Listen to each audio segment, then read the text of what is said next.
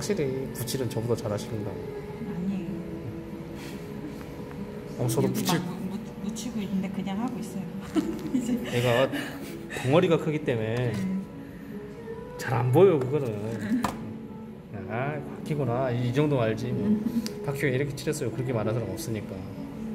혹시나 누가 그렇게 말하면 때려버리세요. 이거 이거 얼마나 만들기 힘든지 알아?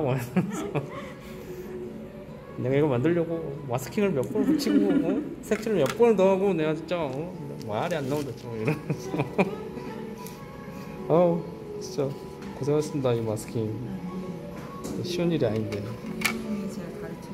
네 아이 저뭐 옆에서 살짝 양만 올리고 이렇게 하는 거예요. 그렇게 하면 망쳐요. 뭐 이러면서. 음, 어떻게 해야 될지. 처음에 감이 안 잡히더라고요. 프라모델이 그런 적들이라서. 음. 쉽지가 않습니다 근데